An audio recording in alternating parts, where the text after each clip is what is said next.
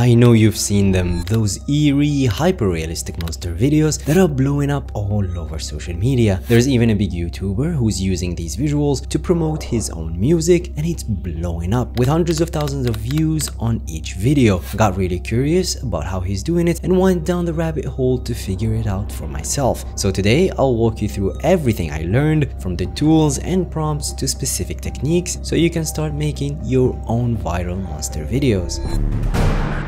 Alright, the first piece of the puzzle is generating the image. You could go with deep sea creatures like a giant octopus or a monstrous crab or even create alien looking beings that don't exist anywhere in the natural world. Or do they? We're going for something that grabs people's attention. In a second, I'll show you the exact prompt I use plus a secret trick to come up with endless prompts. Out of all the image generators I've tried, Midjourney got me closest to that hyper-realistic, unsettling style that you see in those videos. And here are some prompt examples, but don't feel limited to just these. I've put together a whole list of other prompts that you can use. They're all available for free on my Patreon, so feel free to check them out if you need some inspiration. And if you want even more variations, just paste the prompt into ChatGPT and tell it using the following prompt, generate 5 prompt variations in the same visual style, but with different creatures. That way you will get a whole range of ideas without changing the overall vibe. And if you ever come across a style online that you want to replicate,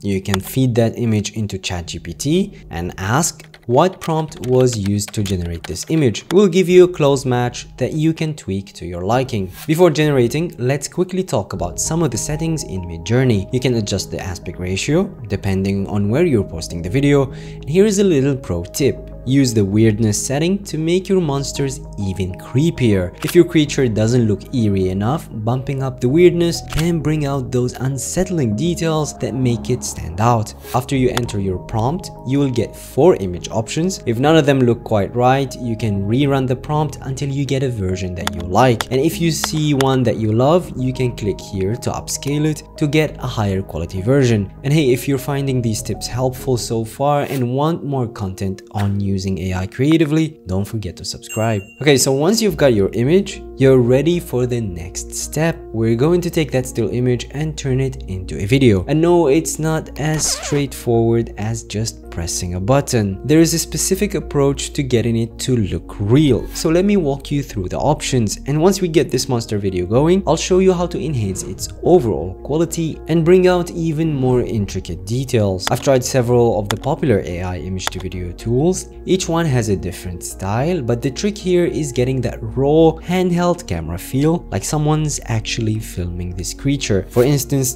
Dream Machine gives a really clean look, but the camera movement is often too smooth. It's still good, but not the best option if you're aiming for that handheld shaky camera effect. Runway ML's Gen 3 does a pretty good job with realistic camera movement, but the one tool that tends to give the most natural look is Kling AI. In a second, I'll show you how I use it to get that lifelike feel. And if you're interested in a deeper dive, I have another video where I break it down and compare these tools in detail. To use Kling AI, first go to AI video, choose image to video, here upload your Midjourney image, Below that, you can enter a prompt. And here is a tip. Use the exact same prompt you used to generate the original image. I've also tried leaving the prompt blank and it can work, but results are hit or miss, so just keep that in mind. I noticed that adding handheld camera shake, either alone or with the original prompt, can make a huge difference. I usually get decent results without having to play with the remaining settings,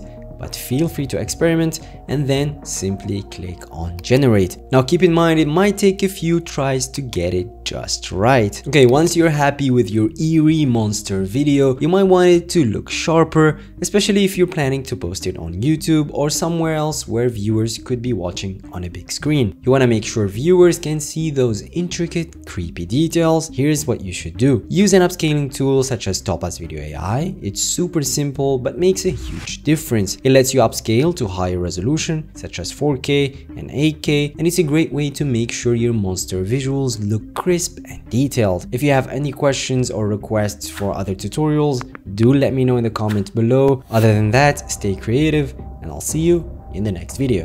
Peace.